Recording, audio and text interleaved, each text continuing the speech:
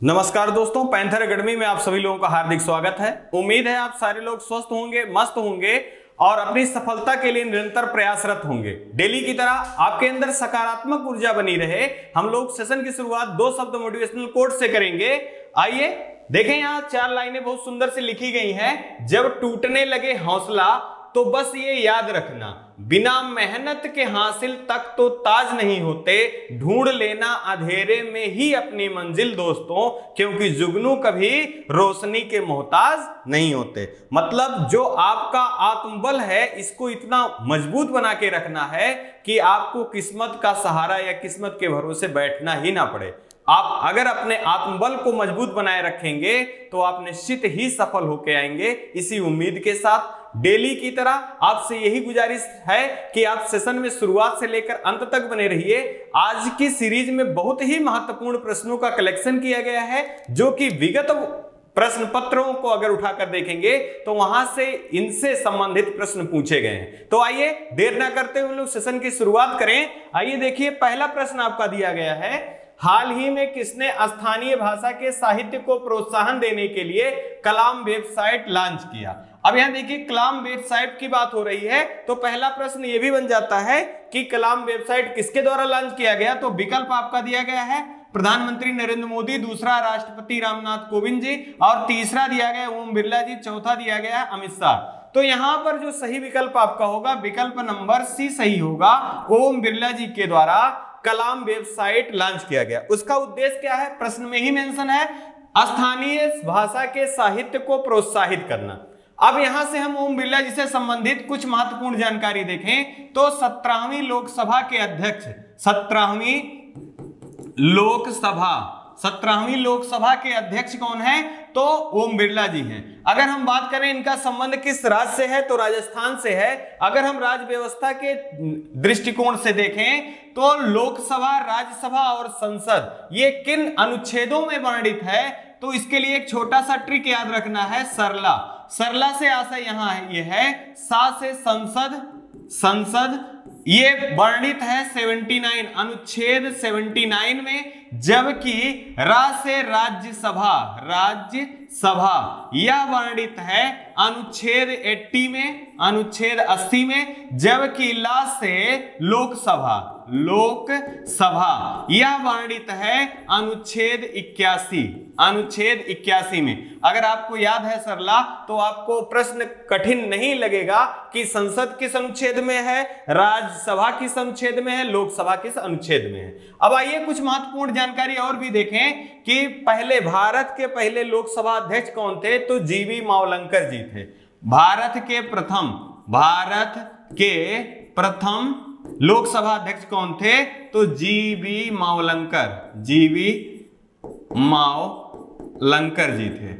और सत्रहवीं लोकसभा के अध्यक्ष कौन है? तो ओम बिरला जी हैं। अगर हम बात करें यहीं पर, लोकसभा के अध्यक्ष का किस अनुच्छेद में वर्णन है? तो मित्रों, यह अनुच्छेद 93 में वर्णित है। और लोकसभा से ही संबंधित आपसे प्रश्न बहुत बार ही पूछा गया है कि कौन सी सभा अस्थाई है और कौन सी सदन जो है वो अस्थाई है। तो लोकसभा जो है, लोकसभा लोकसभा ये अस्थाई अस्थाई अस्थाई है जबकि राज्यसभा राज्यसभा राज्यसभा ये अस्थाई है। अब यहीं पे बात करें अगर तो लोकसभा और राज्यसभा की संयुक्त बैठक कौन बुलाता है? तो संयुक्त बैठक, संयुक्त संयुक्त बैठक। संयुक्त बैठक जो है, ये राष्ट्रपति राष्ट्रपति राष्ट्रपति महोदय द्वारा बुलाई जाती है, जबकि इसकी अध्यक्षता कौन करते हैं? तो इसकी अध्यक्षता लोकसभा अध्यक्ष करते हैं। अगर हम यही बात करें कि संयुक्त बैठक किस अनुच्छेद में है तो अनुच्छेद 108 में संयुक्त बैठक की बात की गई है। अगर हम बात करें कि धन विधेयक का निर्णय कौन करता है कि यह धन विधेयक है या नहीं है तो इसका लोकसभा अध्यक्ष जो है, वही धन विधेयक है या नहीं इसका निर्णय लोकसभा अध्यक्ष करते हैं। साथ ही साथ, धन विधेयक कहाँ पर पारित होता है तो सिर्फ़ लोकसभा में पारित होता है। अगर हम यही बात कर लें, ये भाषा से संबंधित बात हो रही है दोस्तों तो भारत के संविधान में भाग सत्रह भाग सत्रह में भाषाओं का वर्णन है, और कितनी भाषाओं का वर्णन है? बाईस भाषाओं का वर्णन है। आइए इसी क्रम में हम लोग आगे देखें। आपका दूसरा प्रश्न है, हाल ही में यूएनसीसीडी सबसे पहले ये जाने कि इसका फुल फॉर्म क्या है। तो संयुक्त राष्ट्र कन्वेंशन टू कम्बैक्ट डिजर्टिफिकेशन का आयोजन किस देश में किया जाएगा? पहला विकल्प आपका दिया गया कांगो, दूसरा दिया गया कोटे दी आइवरी और तीसरा दिया गया ग्लास्को चौथा दिया गया मिस्र। बहुत ही महत्वपूर्ण पर्यावरण के पोर्शन से महत्वपूर्ण प्रश्न है और बैठक और आयोजन से प्रश्न लगातार बने हैं। तो इस प्रश्न का सही आंसर जो होगा आपका, आइवरे कोटे दी आइवर होगा। अब यहाँ ये किस महाद्वीप का देश है? तो ये अफ्रीका। अफ्रीका महाद्वीप का देश है। इसकी राजधानी यामो यामो शुक्रो यामो शुक्रो है। साथ ही साथ अगर हम बात करें कि ये कौन सा संस्करण है? तो मित्रों, यह कॉप 15 है। यहाँ कॉप का आशय है कॉन्फ्रेंस ऑफ़ पार्टीज़। और ये पंद्रहवा संस्करण है। इसका आयोजन यामो कोटे दी आइवर, आइवरी में किया जाएगा या आइवरी कोस्ट में किया जाएगा, जिसकी राजधानी यामो सुक्रो है। अब यही ध्यान ये रखना है, पिछला कॉप चौदह का आयोजन कहाँ किया गया था? तो कॉप चौदह का आयोजन नई दिल्ली नई दिल्ली, भारत, नई दिल्ली, भारत में किया गया था।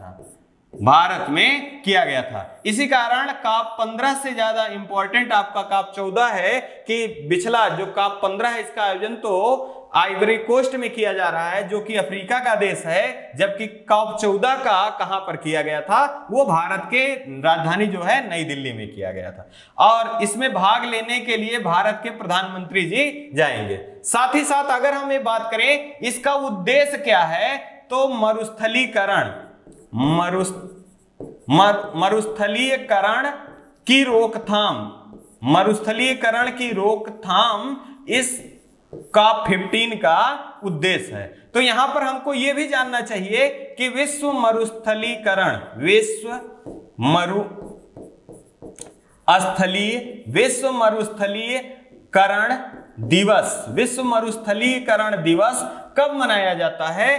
तो प्रत्येक वर्ष 17 जून को विश्व मरुस्थलीकरण दिवस के रूप में मनाया जाता है। अब एक क्वेश्चन और भी यहाँ से ध्यान रखिए, जो कि आवश्यक है। आपसे पूछा गया है कि कॉप 26 का आयोजन कहाँ किया गया? तो कॉप 26 का आयोजन जो है, ये कहाँ किया गया? ये ग्लास गो ग्लास गो में किया गया। जबकि कॉप 27 का आयोजन कहाँ किया जाएगा?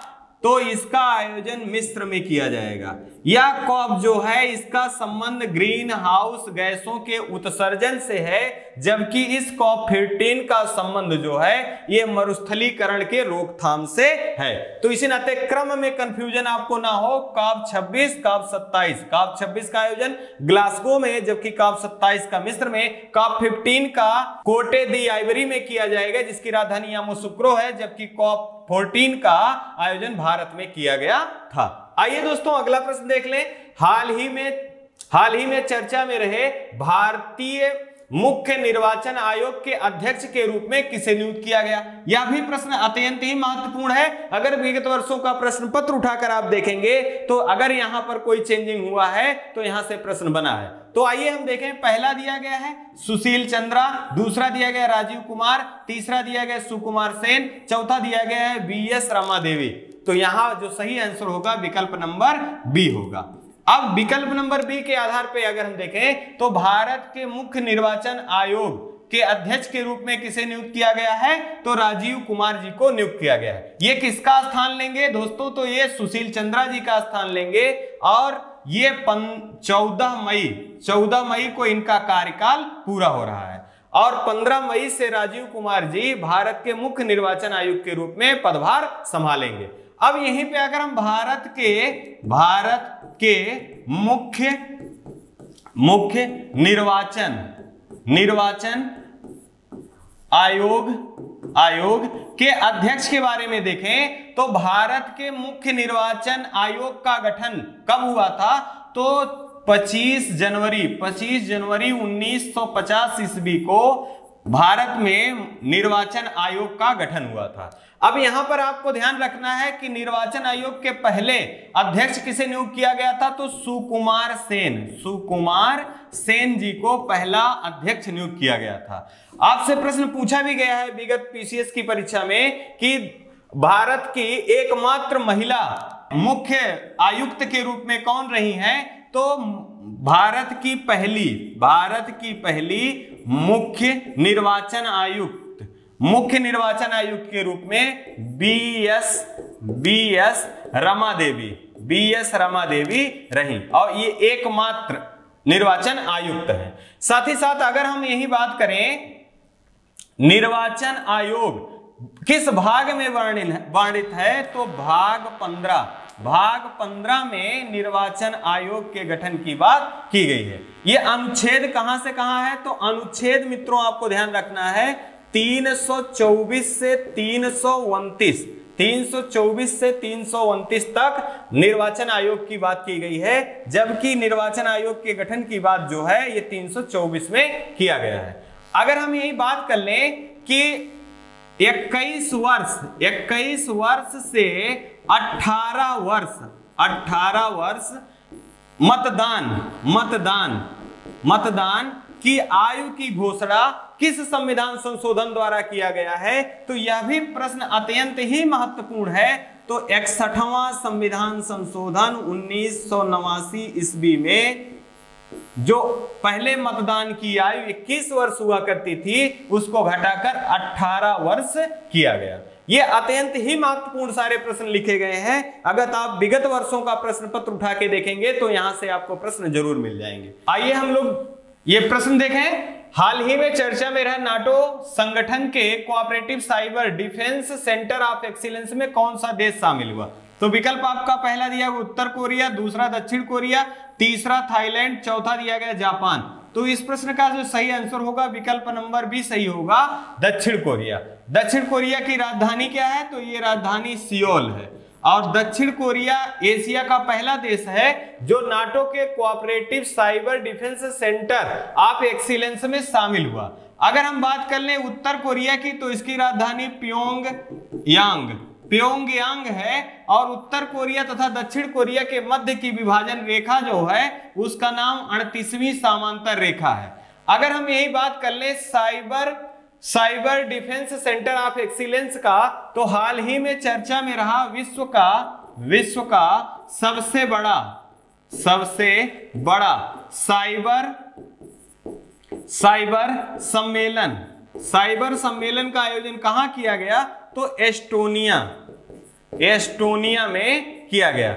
इसका उद्देश्य क्या है? देशों या तमाम सारे स्थानों पर साइबर अटैक को रोकथाम करने के लिए यह सम्मेलन किया गया। साथ ही साथ अब यहाँ आपको ध्यान रखना है Cooperative Cyber Defence Centre of Excellence में एशिया का पहला देश शामिल हुआ। उसका नाम दक्षिण कोरिया है, जिसकी राजधानी सियोल है।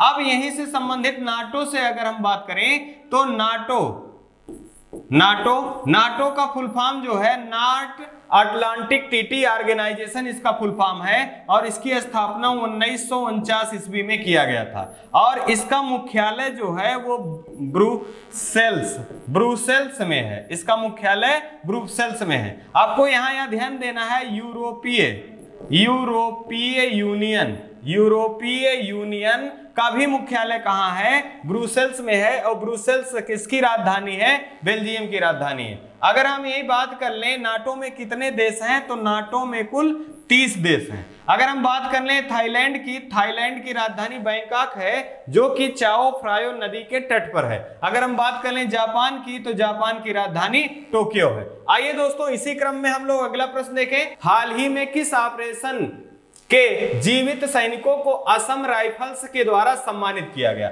अब यहाँ बात हो रहा है किस ऑपरेशन के जीवित सैनिकों? तो यहाँ पहला दिया गया ऑपरेशन मेघदूत, दूसरा दिया गया ऑपरेशन पोलो, तीसरा दिया गया ऑपरेशन सरधवा चौथा दिया गया ऑपरेशन दूधी। तो यहाँ पर जो सही विकल्प है, विकल्प नंबर डी सही होगा, ऑपरेशन दूधी। ऑपरेशन दूधी कब हुआ था? तो उन्नीस सौ इक्यानवे में जम्मू काश्मीर जम्मू काश्मीर में आतंकवादियों की समाप्ति के लिए एक अभियान चलाया गया था, एक ऑपरेशन चलाया गया था, जिसका नाम रखा गया था ऑपरेशन दुधी। और इसमें बहुत सारे आतंकवादियों को मार गिराया गया था। और मुझसे जो कुछ बचे जीवित रिटायरमेंट के बाद कुछ जीवित जो सैनिक हैं, उनको असम राइफल्स के द्वारा सम्मानित किया गया है। अब यहाँ पर आपको यह भी ध्यान रखना है कि असम राइफल के द्वारा सम्मानित किया गया है। तो हाल ही के दिनों में असम के तीन दिवसीय दौरे पर कौन गए थे? रक्षा मंत्री राजनाथ सिंह। साथ ही साथ आपको याद रखना है कि राष्ट्रपति राष्ट्रपति राष्ट्रपति कलर राष्ट्रपति कलर अवार्ड अवार्ड से किसे सम्मानित किया गया है? तो असम पुलिस को राष्ट्रपति कलर अवार्ड से सम्मानित किया गया और यह पुरस्कार पाने वाला देश का दसवां राज्य है। इससे पहले कौन पाया था? तो इससे पहले उत्तर प्रदेश पा चुका है। अगर हम यही बात करें, ऑपरेशन मेघदूत की दोस्तों तो ऑपरेशन मेघदूत जो है, वो सियाचिन हमले से या सियाचिन आक्रमण से संबंधित है। जबकि हम बात करें ऑपरेशन पोलो की तो 1948 में हैदराबाद के निज़ाम पर पुलिस कार्रवाई का जो मिशन था, उसका नाम क्या था? उसका नाम ऑपरेशन पोलो था। अगर हम बात करें ऑपरेशन सर हवा की तो B S F B S F के द्वारा घुसपैठियों को रोकने के लिए राजस्थान में एक ऑपरेशन चलाया गया, जिसका नाम ऑपरेशन सर्द हवा रखा गया अब यहीं से कुछ महत्वपूर्ण और भी प्रश्न आपको याद रखना है। चर्चा में रहा, ऑपरेशन गंगा का संबंध किससे है? तो यूक्रेन में फंसे भारतीय विद्यार्थियों को या भारतीयों को वहाँ से वापस लाने के लिए जो ऑपरेशन चलाया गया, उसका नाम था operation operation operation Ganga operation Ganga.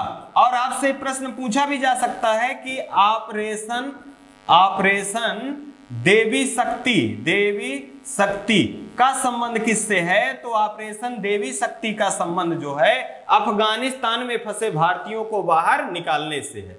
आइए, इसी क्रम में हम लोग अगला प्रश्न देख लें। हाल ही में प्रधानमंत्री के द्वारा किस राज्य में उत्कर्ष उत्सव का उद्घाटन किया गया। अब यहाँ ध्यान रखना है, उत्कर्ष उत्सव। उत्कर्ष उत्सव का उद्घाटन कहाँ किया गया? पहला दिया गया राजस्थान, दूसरा उत्तर प्रदेश, तीसरा गुजरात, चौथा दिया गया बिहार। तो यहाँ सही विकल्प नंबर सी होगा गुजरात। प्रधानमंत्री नरेंद्र मोदी जी द्वारा उत्कर्ष उत्सव का उद्घाटन किया गया। अब इस उत्कर्ष उत्सव का उद्देश्य क्या है दोस्तों? तो गुजरात राज्य में सामूहिक रूप से चार योजनाओं को सामान्य जन सामान्य तक पहुंचाना या जनता तक सुलभता के साथ पहुँचाने के उद्देश्य से उत्सव, उत्कर्ष उत्सव का आयोजन किया गया और जिसका उद्घाटन किसने किया? प्रधानमंत्री नरेंद्र मोदी जी ने किया। अगर हम यही बात कर लें, हाल ही में राजस्थान में मर महोत्सव का आयोजन कहाँ किया गया? राजस्थान में ऊँट महोत्सव का आयोजन कहाँ किया गया? राजस्थान में सिगमो महोत्सव या सिगमो फेस्टिवल कहाँ मनाया जाता है? तो ये सिगमो जनजाति गोवा में पाई जाती है तो वहाँ मनाया गया। साथ ही साथ आपको याद रखना है, अभी हाल ही में त्रिशूर पूरम उत्सव का आयोजन कहाँ किया गया? केरल में। आपको चेरी ब्लासम महोत्सव का आयोजन कहाँ किया जाता है? तो मेघालय राज्य की राजधानी शिलांग में किया जाता है। ये सारे महोत्सव अत्यंत ही महत्वपूर्ण हैं और आपकी परीक्षाओं में पूछे भी जाते हैं। आइए इसी क्रम में हम लोग आगे बढ़े और देखें, अभी यहाँ उत्तर प्रदेश से संबंधित कुछ महत्वपूर्ण, जैसे उत्तर प्रदेश में आगरा महोत्सव का आयोजन किया जाता है, लखनऊ महोत्सव का आयोजन किया जाता है। तो महोत्सव से भी लगातार प्रश्न बने हैं। आइए इसी क्रम में अगला देख ले। हाल ही में श्रीलंका के प्रधानमंत्री के रूप में किसने शपथ ग्रहण किया? तो यहाँ पहला दिया गया है रानिल विक्रम सिंधे, दूसरा दिया गया है महिंद्रा राजपक्षे, तीसरा दिया गया गोताबाया राजपक्षे, चौथा दिया गया इनमें से कोई नहीं।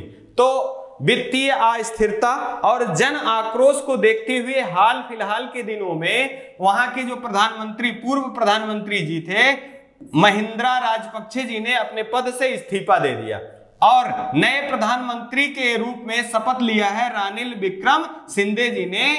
नए प्रधानमंत्री के रूप में शपथ लिया है। जबकि गोताबाया राजपक्षे जी श्रीलंका के राष्ट्रपति के रूप में अपने पद पर बने हुए हैं। आने वाले 17 मई को अविश्वास प्रस्ताव अविश्वास प्रस्ताव गोताबाई राजपक्षे के विपक्ष में लाए जाने की योजना बनाई जा रही है। अब इसमें क्या होगा, ये आने वाले समय में आपको जानकारी मिलेगी। अगर हम बात करें यही श्रीलंका से संबंधित तो श्रीलंका की राजधानी जो है, जयवर्धने पूरे कोट्टे है। साथ ही साथ पाक जल डमरू मध्य भारत और श्रीलंका के मध्य है, और यह मन्नार की खाड़ी और बंगाल, मन्नार की खाड़ी और बंगाल की खाड़ी को जोड़ता है। अगर हम बात कर लें श्रीलंका के साथ तो स्लीनेक्स स्लीनेक्स स्लीनेक्स युद्ध अभ्यास स्लाइनेक्स युद्ध अभ्यास किन किन देशों के बीच में किया जाता है? या मित्र शक्ति मित्र शक्ति युद्ध अभ्यास किन किन देशों के बीच में होता है? तो भारत और श्रीलंका के मध्य में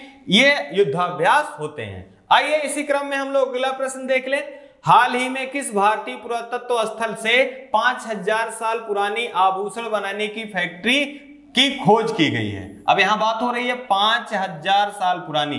तो पहला दिया गया है धौलावीरा, दूसरा दिया गया है राखी गढ़ी तीसरा दिया गया है बनावली, और चौथा दिया गया है यहाँ पर रोपड़। तो यहाँ जो सही होगा, विकल्प नंबर बी सही होगा राखी गढ़ी ये किस राज्य में है? तो ये हरियाणा राज्य में है। हरियाणा राज्य में है। राखी गढ़ी किस नदी के तट पर स्थित है? तो ये घग्घर घग्घर नदी के तट पर स्थित है। साथ ही साथ अगर हम हरियाणा से संबंधित देखें तो यहाँ प्रश्न में भी पूछा गया कि पाँच हज़ार साल पुरानी आभूषण बनाने की फैक्ट्री मिली है। तो ये मिली है राखी गढ़ी से।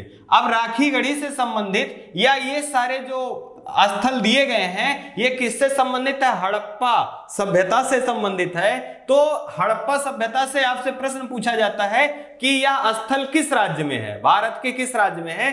तो धौलावीरा को अगर देखें दोस्तों तो ये गुजरात राज्य में है। अगर हम बात करें राखी गणित की को हरियाणा राज्य में है। अगर बात करें बनावली की तो ये राजस्थान राजस्थान। राज्य में है और बात करें यही रोपड़ की तो यह पंजाब राज्य में स्थित है। ये सारे प्रश्न अत्यंत ही महत्वपूर्ण है। अगर यही बात हो कि लो, हड़प्पा सभ्यता का सबसे बड़ा, लो, हड़प्पा सभ्यता का सबसे बड़ा गोदीवाड़ा किस राज्य में या कहाँ स्थित था?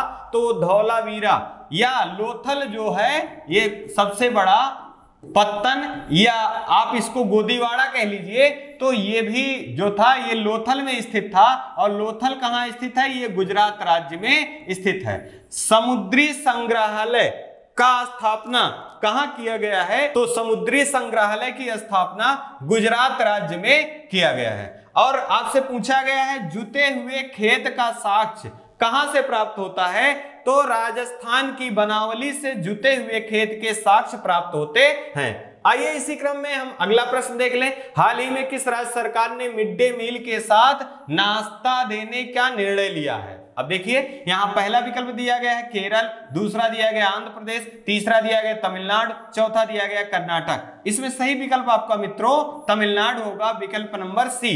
साथ ही साथ अगर हम बात करें, बहुत ही चर्चित योजना है, ये मिड डे मील योजना, ये केंद्र सरकार की योजना है।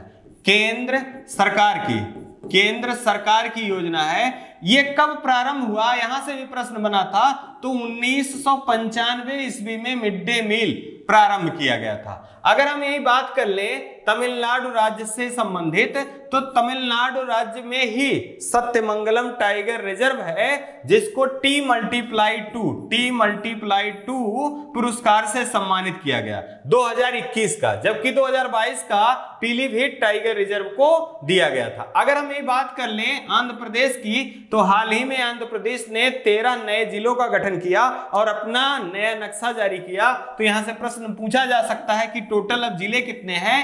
तो आंध्र प्रदेश में टोटल 26 ज़िले हैं। अगर हम बात करें कर्नाटक के बारे में तो सांस अभियान किसके द्वारा या किस राज्य के द्वारा प्रारंभ किया गया है या किसके द्वारा चलाया जा रहा है तो वो कर्नाटक राज्य के द्वारा चलाया जा रहा है और इसका संबंध निमोनिया के उन्मूलन से है।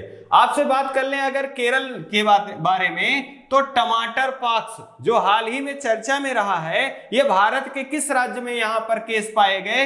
तो भारत के केरल में टमाटर पॉक्स टमाटर पॉक्स के के लक्षण या सिम्टम पाए गए बच्चों में। और ये कैसे होने वाली बीमारी है? ये वायरस की बीमारी है। और जिसमें टमाटर जैसे लाल रंग के चकत्ते पड़ जाते हैं, इसी कारण इसका नाम टमाटर पाक्स रखा गया है। जो आपके ये दस क्वेश्चन का जो सीरीज़ है, ये आखिरी आपका प्रश्न है, पुस्तक से प्रश्न पूछा गया है। हाल ही में जारी The Struggle for Police Reforms, in India पुस्तक के लेखक कौन है? तो यहाँ पहला दिया प्रकाश सिंह, दूसरा राजेश तलवार, तीसरा आलोक चक्रवाल और चौथा दिया है डॉक्टर श्री राम चौलिया। तो यहाँ पर सही विकल्प आपका होगा, विकल्प नंबर ए, प्रकाश सिंह के द्वारा The Struggle for Police Reforms in India. मतलब पुलिस की व्यवस्था को और ज़्यादा सुदृढ़ और एडवांस कैसे बनाया जा सकता है? इसमें इस बुक के माध्यम से प्रकाश सिंह जी द्वारा ये लिखा गया है और सुझाव इसमें दिए गए हैं।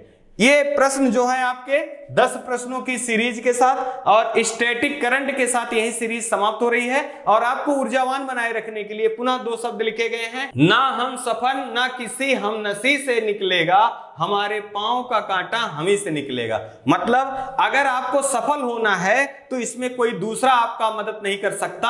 अगर कोई मदद कर सकता है तो स्वयं आप अपने आप की मदद कर सकते हैं। इसी उम्मीद के साथ आप निरंतर प्रयास करते रहिए और अपना अपने परिवार का खूब सारा ध्यान रखते रहिए हँसते रहिए मुस्कुराते रहिए। जय हिंद जय भारत।